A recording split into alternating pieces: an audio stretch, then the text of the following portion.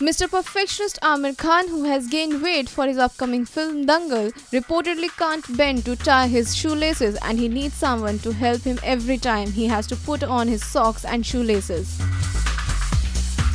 Preparing for Nitesh Tiwari's film on wrestling, Aamir tried to put a weight and now he weighs 90 kg. The actor's wrestling based film Dangal is set for a Christmas 2016 release. Powered by NNIS.